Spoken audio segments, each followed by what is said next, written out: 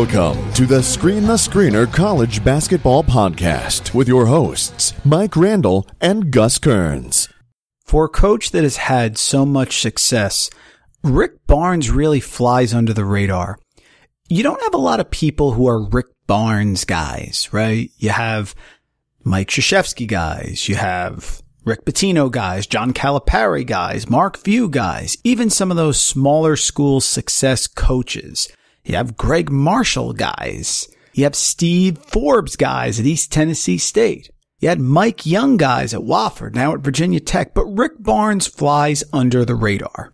He's had as much experience across different programs as any of those guys. Was successful as a head coach at George Mason and Providence and Clemson. Then he goes to Texas, which doesn't support basketball nearly as much as football there and turns it into a tremendously successful basketball program, more so than they had ever had.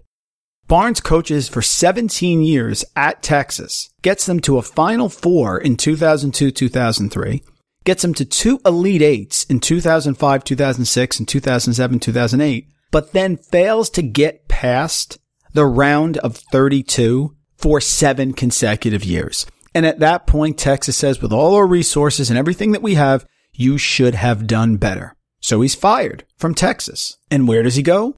Tennessee.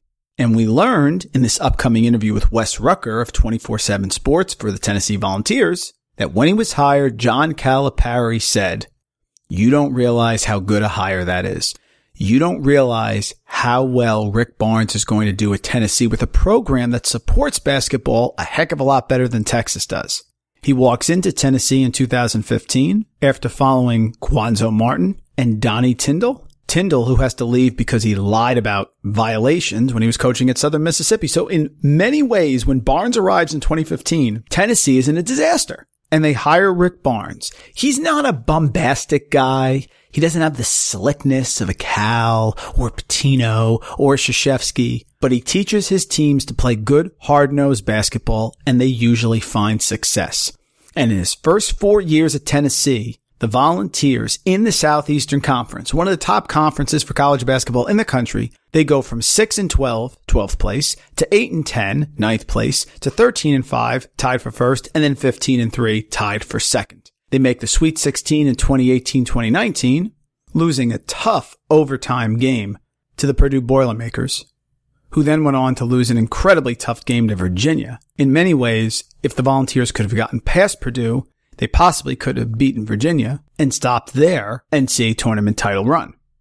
And so coming into this year, after losing such big name players as Admiral Schofield and Grant Williams and Jordan Bone, People thought it was going to be a gap year. People thought it was going to be a down year, but not for Rick Barnes. Despite losing senior guard Lamonte Turner early in the year, Barnes actually turns things around, gets this program to 17 and 14, 9 and 9 in the SEC, with two of the last three games defeating Florida at home and Kentucky on the road, who may have been the second best team in the country, not named Kansas. So today we're going to talk Tennessee Volunteers basketball we're going to bring in Wes Rucker, senior writer at Go Vols 24-7. He covers the volunteers for 24-7 Sports and CBS Sports and is a contributor at WBIR TV. You can follow him on Twitter and you should follow him on Twitter at Wes Rucker 247 where he covers all things volunteers. And he's going to come on to the Screen the Screener season review series today to talk about Tennessee, to talk about how this team responded after losing Turner, talk about how Rick Barnes has this team believing, buying into defense, and to talk about next year where the volunteers bring in one of the absolute most loaded recruiting classes in all of America. Right up there with all the top programs. Right now they're ranked fourth. It could go even higher. So Wes Rucker is going to talk to us about Tennessee, the Volunteers, who took Rick Barnes, who has six Conference Coach of the Year awards on his resume, the CA Coach of the Year, four times the Big 12 Coach of the Year with Texas, and the SEC Coach of the Year in 2018, he now has the volunteers program back on the national landscape. And Wes will tell us so many great things, especially how Rick Barnes seems to have John Calipari's number like no one else does. So let's bring in Wes. He'll talk about Tennessee Volunteers basketball. Let's dive in, talk about this year, and more importantly, preview next year where the volunteers are loaded.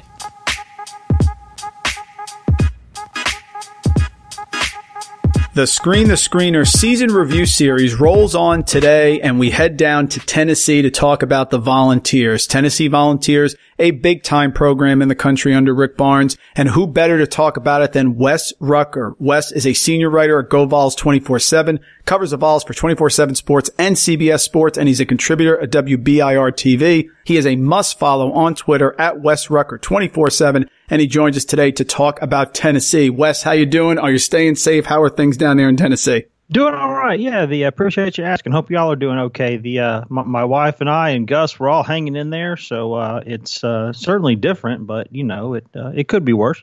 It could be worse for sure, and we're we're getting through it. Of course, we're trying to fill the void of no college basketball and no, no March Madness here by doing a season review series on all the teams across the country. And of course, coming into this year, Tennessee lost a lot from that great team last year. Admiral Schofield, Grant Williams. So I'm curious, what were your expectations coming in? If you look at the preseason poll there coming in, Tennessee was picked fifth, right in the middle in essence in the SEC, but always one of the top teams in the country and can challenge the SEC, any of those teams in that great conference. So coming in Wes, what were your, your expectations for the Volunteers this year?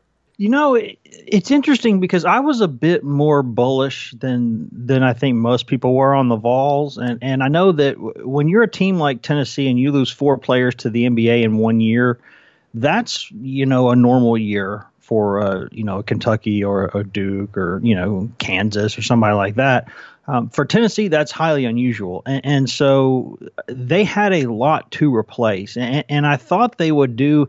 I knew it would be kind of a sandwich year in some ways because I knew they weren't going to be as good as they had been the previous year, and I knew that they weren't probably going to be as good as they were going to be the year after that because they had all those studs from that ridiculous signing class coming in.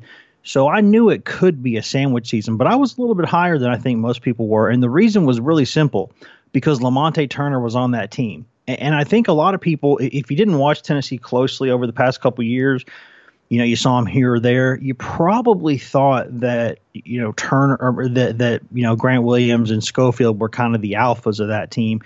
And, and I'm not saying they weren't, but Lamonte Turner was pretty much the heart and soul leader of that team. And he was the, the kind of their their little their little pit bull of a guy. I mean, he was the smallest guy on the floor, but you just didn't mess with him. He he hit big shots. He he stepped up and said everything needed to be said. He was an extension of Barnes out there. He was a really he's a really really tough dude, and he was going to be the leader of that team. Everything was going to be kind of built around him. And and I thought, you know what? There might be games where he tries to score 40 points, but I'm going to enjoy that. That's going to be fun. And I just thought they would have a chance because they had, you know, Bowden was a good player. They had some other guys that could emerge as good players, and and Turner was the heart and soul of that team. And then, of course, you know, Turner's arm falls off, and, and the whole season kind of goes off the rails for a while.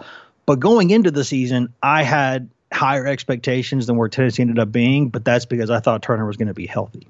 Yeah, and that team two years ago coming in, people forget they were 23 and 1, and the only loss they had prior to the Kentucky game on February 16th, two years ago, was an overtime loss to Kansas. Had the most efficient offense in the SEC. Turner, like you said, was a big part of that. So coming into this year, like you said, you had decent expectations. They had a nice win on a neutral against VCU, tough loss to Florida State. And then, of course, we hear that Turner with the arm falling off in the shoulder is out for the year. And I, I think probably the first pivot point I want to talk about is that Wisconsin game because coming into that game, no Turner, Wisconsin can't win on the road. And it really was a, a rough one there for Tennessee back on December 28th. It was, and I'll tell you, there's a really simple reason for that. Tennessee only played like two games after Turner went down but before Vescovi got there. And that was one of those games. And and you know, for, for people who don't know or, or watch a lot of Tennessee, um, you know, Thompson Boling Arena, the Tommy Bowl, it doesn't get uh, nearly as much love as, you know, say Cameron Indoor or, or the Phog or Rupp or one of those. Um, but I've been to just about every place you can play basketball in this country in terms of the big places. And Thompson Boling on its day is as loud and nasty and tough as Absolutely. anywhere to play in the country. You got 20,000 plus people in there. They're going crazy. I thought that Tennessee, I knew Tennessee would be struggling in that game, and, and I thought Wisconsin might win it. But I thought the crowd would kind of give Tennessee a jolt like it normally does, and, and Tennessee would kind of find a way to hang around. I didn't think Tennessee would win that game just because you can't just take the the emotion, the emotional fire and soul leader out of a team and have no impact. But I thought the crowd could kind of push them going forward, and, and that really just didn't happen. And I don't know if it's because students were gone during break or what it was but they were just flat and, and, they couldn't hit shots and Bowden was struggling and, and Wisconsin just kind of just really buried them.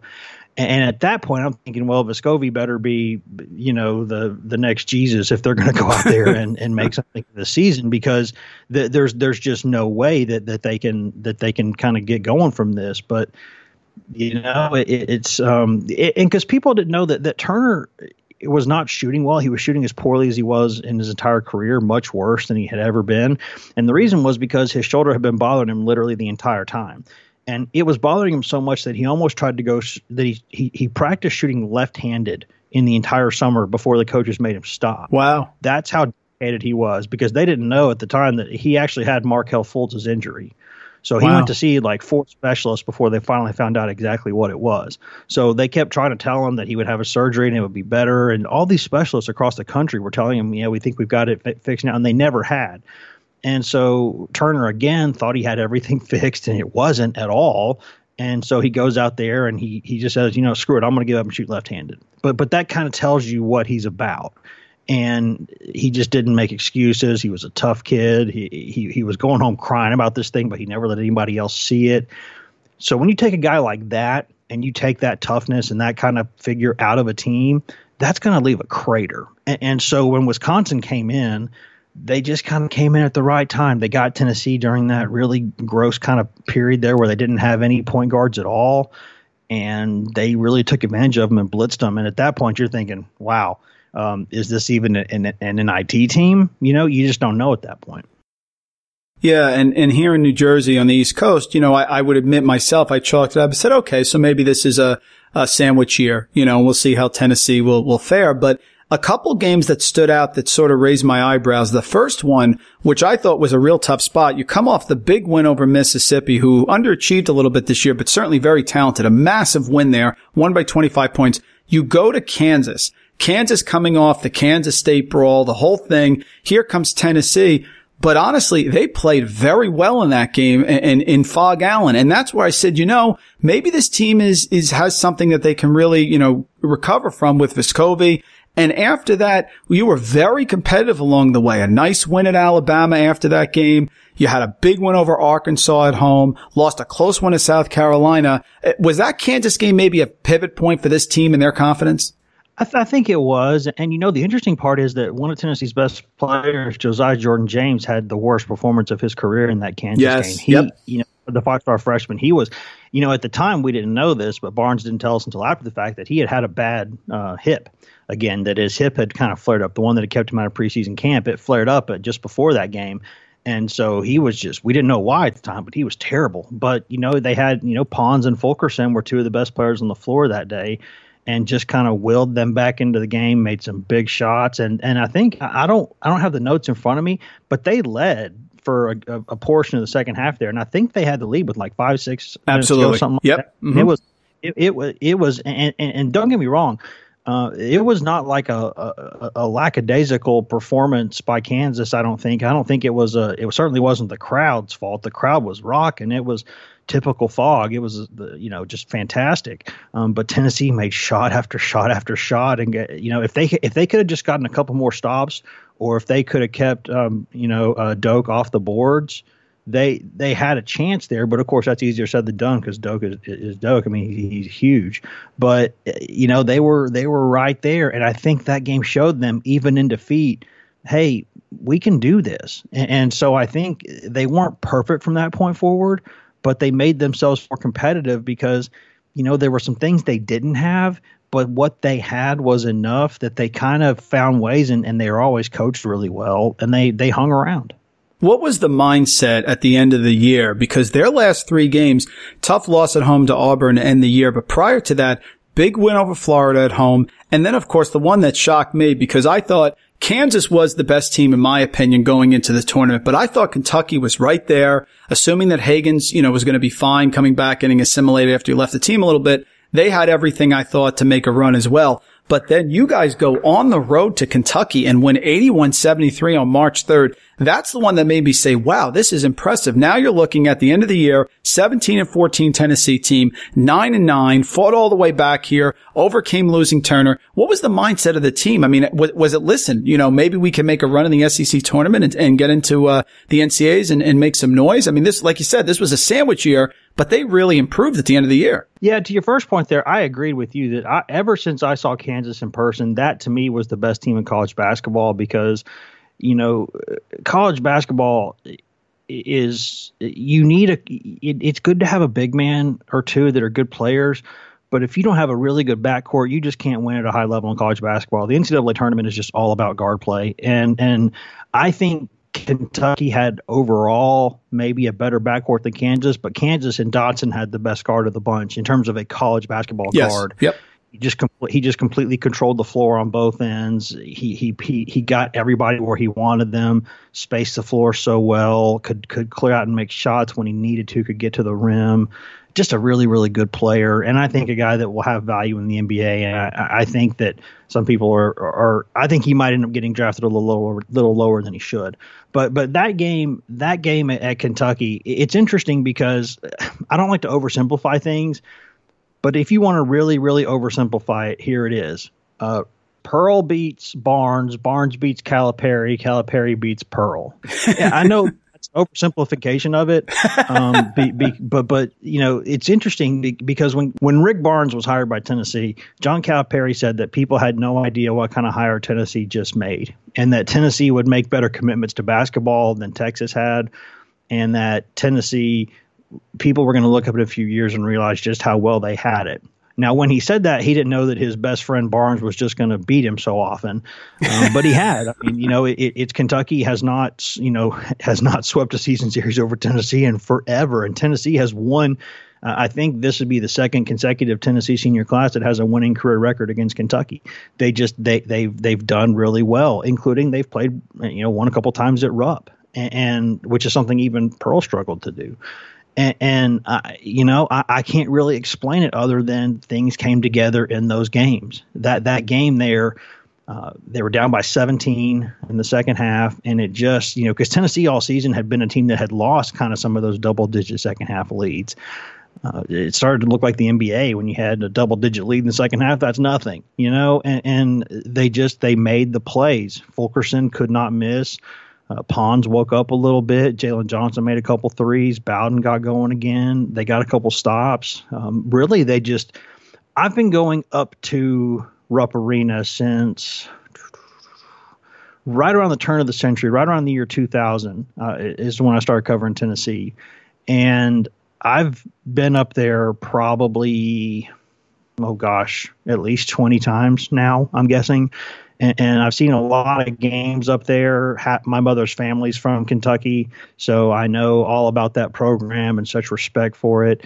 I have never heard Rupp Arena quieter than it was that night. I've never in my life heard it that quiet. Even when Tennessee has beaten Kentucky up there, I've never heard it as quiet as it was during that comeback that Tennessee had. It was just silent. People could not believe what was happening. And I, I can't really explain why everything came together the way it did.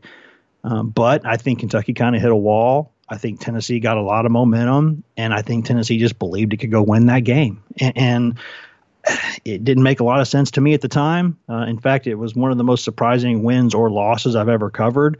Um, but you know what? When John Fulkerson's going to go out there and give you 27 and look like he's the best big man on the floor, you got a chance. Yeah, Fulkerson is is tremendous. I mean, heart and soul of the team. That was a shocker because Kentucky had won eight games in a row coming off the Auburn loss away, which was a tricky one. They were looking to continue rolling and at home there, you expected that game to just move forward and it, and it did. And it was a great comeback by Tennessee. And listen, next year, Wes, there's before we get to the incoming class, which is loaded, you have a good group coming back. You lose Turner, obviously, and Bowden, but Fulkerson, Vescovi, I mean, a good bunch of guys coming back here. What are you hearing about Jordan James, Yves Pons, and those guys? Because, eh, you know, like you said, this was a, a good end of the season that really could be a springboard next year for a Tennessee team that looks to be absolutely in the top 20. Yeah, I, have got, there's no, uh, there's virtually no doubt in my mind that Josiah Jordan James will be back. I, I, think that he knows he's capable of playing a lot better than he played for a chunk of this season. So I think he'll be back, no question. The the the, the French guy is Pons. And and yes, I don't I don't mean French, even though he is French. I'm saying to say fringe, F R I N G E, not not F R E N C H, uh, because Pons is a guy who uh, he's not going to say anything about it, and he won't confirm it. I'm not convinced he hadn't gone ahead and thrown his name into the hat without, you know, with the potential of coming back for next season. But I'm not so sure he hadn't already put his name in the draft. And, and that doesn't mean he can't come back because he, he certainly could. Um, but he's a guy who I think he's at least wanted to test the waters because he's a junior and he should. He's the SEC Defensive Player of the Year. Uh, he is, in my you know, I, I, try to stay as you know as as bias free as I possibly can. I've not seen a better athlete than him in college basketball this season. Uh, he's just, I mean, I, you talk about a kid who I don't think he's ever seen a carb in his life. Uh, just, you know, he's clean, works out. You know, he got to Tennessee looking the way he did right now uh, and, basically looking like Megatron. And he had never lifted a weight in his life. It was the wow. most amazing thing I'd ever seen. He just basically did push ups and sit ups like a genetic know, Wes. Those are genetics. Yeah. Kid is just, you know, he's just unbelievably blessed. And he is, uh, he's a really super kid. He's really quiet. He's a very mature kid. He's already married and, and he just, you know he knows what he wants to do with his life and and he's kind of emerging as finally becoming the basketball player people thought he would be and so uh, it, has been interesting to watch him develop because I think he's kind of on the cusp of being something um, pretty darn good, but he's already maybe the best defensive player in college basketball. I've never seen a guy at six five or six six protect the rim the way he does. And, you know, the question is, though, could he, you know, his value is probably never higher than a second round NBA draft pick. So, is there a difference in if he goes out this year versus next year? I, I don't know that there is. That's the question he's got to go over in his mind. And the reason I say that is because if he comes back next season, you're going to ask me in a minute about the incoming class. Well, guess what? Shots are going to be harder to come by next season because you're not going to be a volume shooter on that team because they're going to be there's some really talented ball dominant guards coming in, and you still got Fulkerson there. So it's going to be tough for him to to kind of be a big prolific scorer, which is not his game anyway.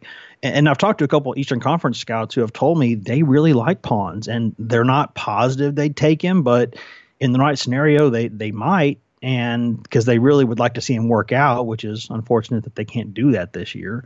Um, but you know, it, it's it, it's I, I basically long story short, if I had to guess, I think he comes back but I'm not positive of that. And and so basically, you're bringing back all the, those guys. Uh, Vescovi probably will learn how to play something resembling defense going forward. Uh, yeah, he's not gonna, you know, you know, he. It's funny because Rick Barnes is such a defensive stickler. That's their thing under him is they'll in the offense, but they really are just dynamite defensively. And Vescovi, um, I'm not saying he's not willing. He's just not been in the kind of shape to go do that because he just kind of showed up off of an airplane from Uruguay and they said, "Hey, go get him, kid. Here's LSU." So you know that, that which was just remarkable what he did because you know seven days after he's in the United States of America, he he goes out there and puts up like 20 on LSU, and you're like, "What are you doing? Where is this kid? Where'd he come from?" But and the thing is, Vescovi was the lowest ranked player in that signing class uh, of the guys coming in next year. So that was kind of amazing what he gave them. But the, when you look at that core of what they got bringing back, that's a really good core. They're going to miss Bowden a lot. Uh, he's kind of been a tenant, he's been a starter for four years. He's a local kid. Everybody loves the kid. He has a shot to play at the next level. They're they're going to miss him. There's no question about it on both ends of the floor. But with that core they're bringing back, you sprinkle in some of these newcomers, and you've got what looks like a pretty good team. Yeah, you do. Great memory too. Vescovi there in that LSU game, 18 points. He was uh, six of nine from beyond the arc in that game. So just tremendous job by him. And listen, Tennessee defense is legendary. They were 15th in the country this year in two point percentage defense. They allowed only 44%. So if he gets on board, I mean, that really solidifies the group. And And you touched on this recruiting class coming in. It is loaded. You wrote a great article on 24-7 sports. Started off with Rick Barnes saying this group will bite you on both ends of the floor. And I, I think that's super appropriate. Talk about the group coming in. Jaden Springer, Keon Johnson, both five-star recruits. Springer is number four in Florida. Keon Johnson, number one in Tennessee. You have Corey Walker, who's a four-star recruit out of Virginia. Uh, and of course, EJ Anosike coming from Sacred Heart, who was one of the top five or six grad transfers. So, uh, Wes, go to town here on this class coming into Tennessee. Yeah, and they're also, I, I you know, I, I, was looking something up as you were asking that question, so I'm not sure I heard all of it. If I'm being totally honest with you, and, and I'm not sure if you mentioned uh, VJ Bailey in there, the transfer. I did not know. Yeah, right. Who, if you've never seen a picture of that kid, I've got pictures somewhere that I took of him uh, on our Twitter uh, account, or you can go uh, to the GoVols 24/7 or 24/7 Sports database and see pictures of him. I mean, he looks like a, a sawed-off Yves Pons. I mean, he's just ridiculously ripped, and he's a very good athlete. And there's a chance he's the starting point guard for Tennessee next season. So yeah, yeah, from yeah, Oregon, I mean, right? Yep. Yep. Yeah, yeah, and and he's from Austin, Texas originally, so Barnes has known him and his family forever. Um, you know, his mom was a an Olympic caliber athlete or as a track person, I believe. He comes from a very athletic family, and and so. Um, and you can tell also, like him, it's like, have you ever even smelled a carb? You just look at him, you go, what's wrong? These kids, I don't know. It's amazing what they can do strength and conditioning wise. It's great for defense. Short, They're going to be long for defense. Jeez. Oh, yeah. I mean, that's the thing. I mean, and people talk about how Tennessee's not like the tallest team Um, but that's because Rick Barnes doesn't care nearly as much about height as he does about length. And, and his players, like, um, you know, Grant Williams was six six or six seven, but had like a seven three or seven two or something wingspan like that. You know, I mean, they just they are six ten six. It was somewhere. All of his players basically have longer wingspan than their height because they're big on length defensively. And the bottom line is this: I've covered Tennessee for uh, all but two years. I think of the past two decades and because I went away for a couple years and came back, and, and I've never, I've never seen Tennessee have this kind of a signing class on paper. Rick, uh, Bruce Pearl signed a couple classes. Bruce did that that were that were really good, but a couple of those guys th- that were five stars, they came in with some baggage. There was a reason why they were available. Either there were, you know, some academic red flags or character red flags, and, and they they ended up getting in school but there were some questions there. These are guys that eh, the the the Barnes is taking that everybody wants. Like Duke is trying to get these guys. Jaden Springer is a kid from North Carolina, a five star guard from North Carolina that North Carolina wanted, and wow. Tennessee got him. Wow. This is this is you know un, unprecedented for Tennessee. Keon Johnson it just so happened that a kid from the Nashville area is one of the best players in this class, and he's the guy that I've probably heard the most buzz about already. Because uh, Jaden Springer is incredible, uh, but Keon Johnson, the other five-star guard, is a guy who I think might really hit the ground running. He is a dy- dynamic two-way player, great defender.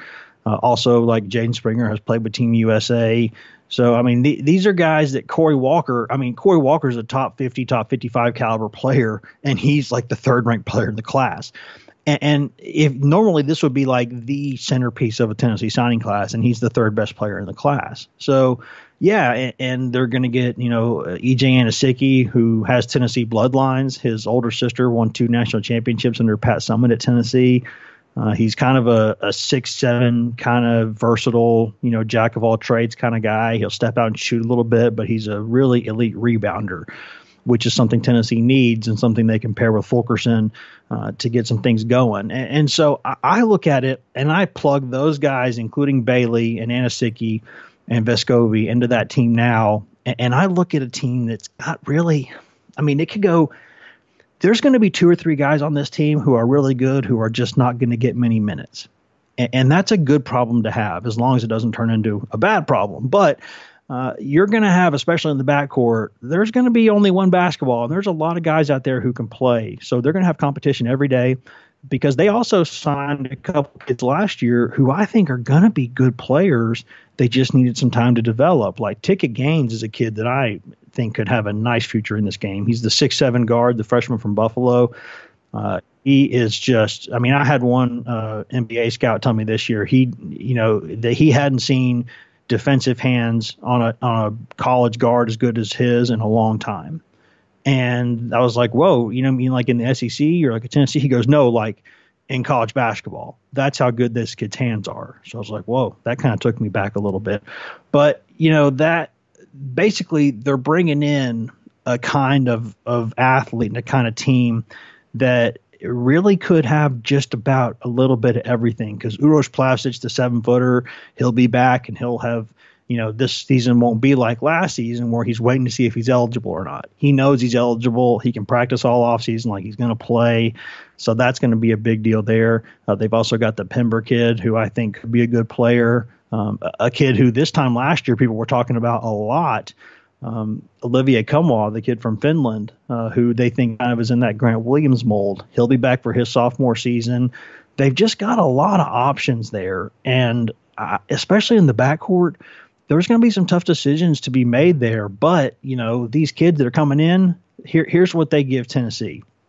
They give Tennessee two things that Tennessee badly, badly needed last season. And, and without Lamonte Turner, they just didn't have him after he got hurt. These guys right here can break you down one on one off the dribble, which Tennessee doesn't have a dribble drive offense. Tennessee has a very much kind of team centered, um, spread the floor, you know, motion, cuts, things like that. Tennessee kind of has one of those. It's not at all a dribble drive offense, but if you're late in the shot clock, you need some dribble drive components. So these guys give Tennessee the ability to do that one on one that maybe they didn't have before or last season, I should say. And what they really do is they give you a chance to lock people up defensively one on one on the perimeter, which only Bowden and Ticket Gaines could do last season. So they're going to give, they're going to patch two holes that Tennessee had, and three if you count Anosike as a rebounder. They're patching holes that Tennessee clearly had last season. So it's not like you start trying to figure this out and you're saying, okay, is this a square peg in a round hole? No, these guys right here are fitting in exactly to what Tennessee needed from last season. And that to me says that, you know, Rick Barnes and his staff know what they're recruiting. They know what kind of needs they're trying to fill, and they're getting good players for that. So I think last season was a lull uh, in large. It was a sandwich season. People kind of worried it might be after Turner got hurt. But I think they'll be back rocking and rolling next season you can tell there's a strategy here. Uh, Gaines pretty much had to steal a game and he was only playing 10 minutes per game.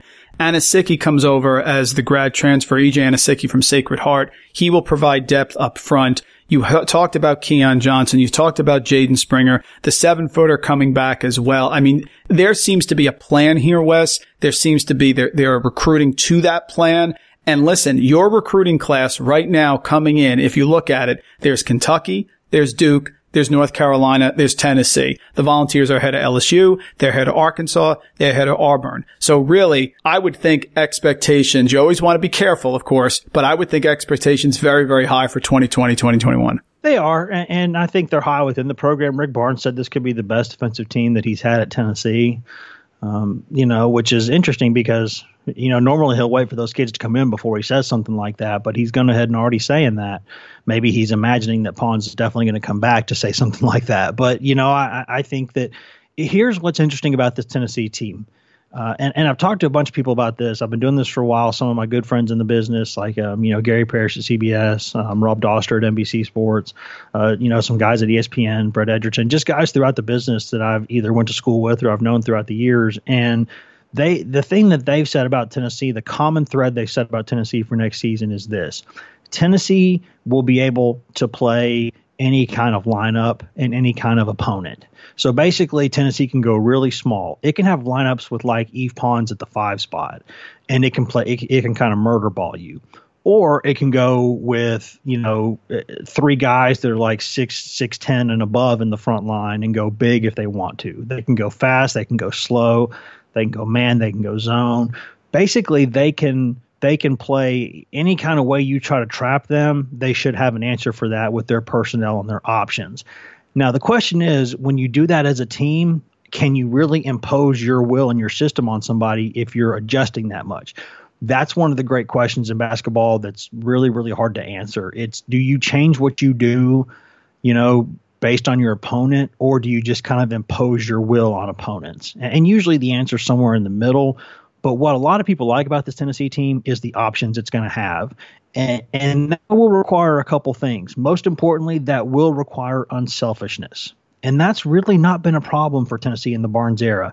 The way the personalities of these kids he's recruited, like Josiah Jordan James last season, is a kid who uh, I've never seen a five star come in like a top 10 or whatever player come in and, and have that little that little ego, that much humility, and that much kind of team team you know, he's just kind of team minded, team focused.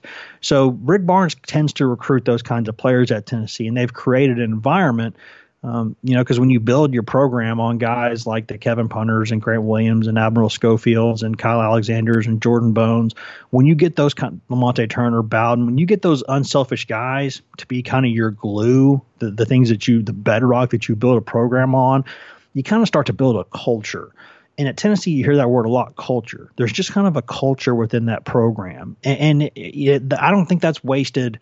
That, I don't think that's just kind of a cliche. I think they mean that. I've been around these guys uh, uh, more than enough to know that they really do kind of seem like a family. They they work hard, but when they're not, to, you know, when they're off the court, they um they they they play well together. They uh, Rick Barnes kind of becomes you know like a dr- Marine drill sergeant during practice, and then everybody's goofy favorite uncle after practice. Uh, and, and, they just they they enjoy being around each other. They have kind of a family vibe. They have a culture there, and, and I think that is something that helps them a lot because you know if they see some five star players here or there, they can kind of blend them into that, and they'll have a culture that can kind of maybe keep those kids' heads on straight. So I think what they're doing here uh, is kind of what Calipari said they were going to do a few years ago when when Barnes got the job. Is that as long as he's there, they're going to be in the mix. The question then becomes, can Rick Barnes get over that hump and get back to another Final Four? Because he's been to the tournament just about every year of his career. He's been such a great coach. He's a Hall of Famer, all those things. But what's he got to do? What's he got to figure out to get more success late in the tournament? And and Uh, he's starting to build a roster that's going to give him a chance to do that if they can get the right matchups and if they can figure it out. If you take talent and flexibility and put it together, you have a lot of potential. And that's what the Tennessee Volunteers have next year. Folks, Wes Rucker, outstanding, outstanding job. Covers Tennessee, everything Tennessee. Go Vols 24-7. He's on CBS Sports, WBIR TV. He's an expert for the Volunteers, gave us some great insight there on the Tennessee basketball program. Must follow on Twitter at Wes Rucker 247. Wes, thanks so much, man. We appreciate it here. This is feeding us. We're, we're, we're full right now. We got some college basketball talk in and we're going to continue on with our season review series. But thank you so much here for a few minutes on what should be one of the best teams in the country next year in college basketball. No problem. Happy to do it. And I hope everybody out there had a good time listening to this. And we're doing this for a reason and hope everybody out there stays safe.